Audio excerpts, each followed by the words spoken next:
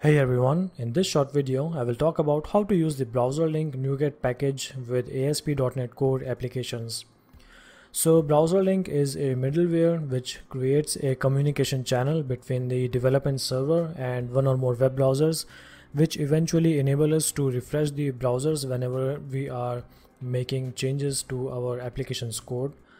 So we can use the NuGet package manager to install the browser link package for any ASP.NET Core web project. And linking of browsers is actually pretty useful when we are testing our application across various browsers to check for compatibility settings. Even for a single browser, we just need to press the refresh button on a toolbar to force the browser reload the application. Now let's start the code walkthrough. But before that I would like to request you all to subscribe to this channel if you think that you like this video at any point while watching it. And it will really help me and encourage me to make more such videos on a regular basis for you guys. So I'm going to create a new project which is going to be an ASP.NET Core web application. And I'm just going to name it I guess ASP.NET Core browser link press OK and then um, we don't need the HTTPS configuration. It needs to be empty then press OK. Now if you don't have ASP.NET Core 2.1 installed then um, you can actually go to the NuGet package manager to install the Microsoft dot ASP.NET package to you know use the um, features of the ASP.NET Core 2.1 versions. Now the first thing which I will do is I will go to the tools and then NuGet package manager, manage NuGet packages and then um, I will search for the browser link package to install it for this project. So as you can see I have already searched it so to install it I'm just going to um, add the first one to this um, default project which has been created. Click the install button. Yep I accept everything which you are throwing at me. Okay. And then after this um, we need to do something else like we need to add an HTML file to this www root folder so I'm going to add a new item. It is going to be an HTML page. Let's call it index.html now in order for us to use this index.html in this default file we need to make some changes to this startup.cs file and those changes are going to be app.use um, default files and then app.use static files now to use the browser link for this application or for this project we also need to call the app.use browser link function. And I'm doing this in this if condition which is going to execute if this entire project is running in the development environment because we don't really need to use the browser link when this application is running on release mode. So yep this is only for the development and any kind of middleware changes to the um, applications web pages which will be done when we will be refreshing the web pages um, by using this browser link extension. Those changes will be limited to the development environment and um, we don't want them to you know spill over to the release mode. So yep that's why um, this function is being called from in this um, condition so um, the browser link is now installed. This is why we have been able to call this method. And now what I will do is I will simply show you the toolbar which is for this um, browser link.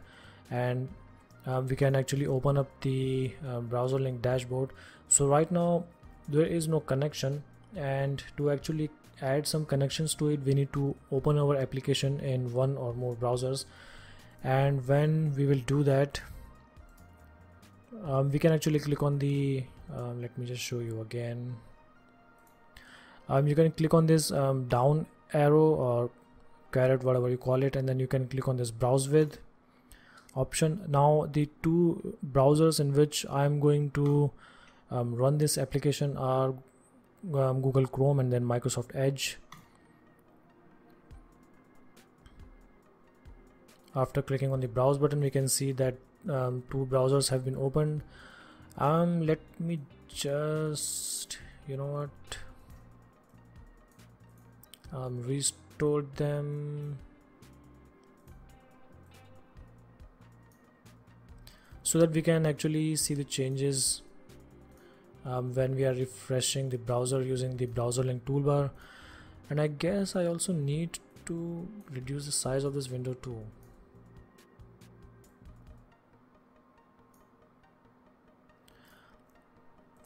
right so let's just also open the index.html now the browser link dashboard is now currently linked with these two browsers chrome and microsoft edge and we can either click on them individually and then uh, click on the refresh button to refresh the browsers or we can click on this refresh icon to refresh all the linked browsers.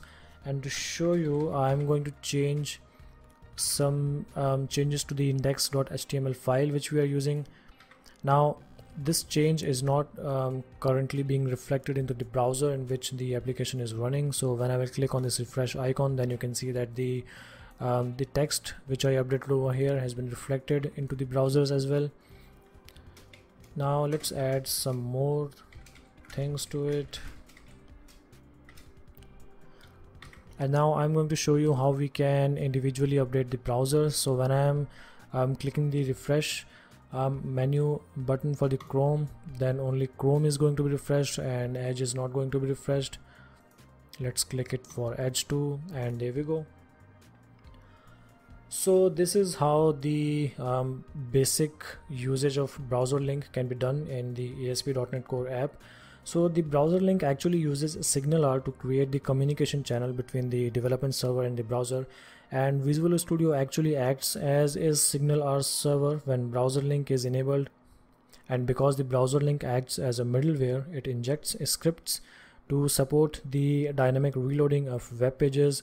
So the source code isn't modified in any way. So I can show you um, where the script is which is dynamically being injected.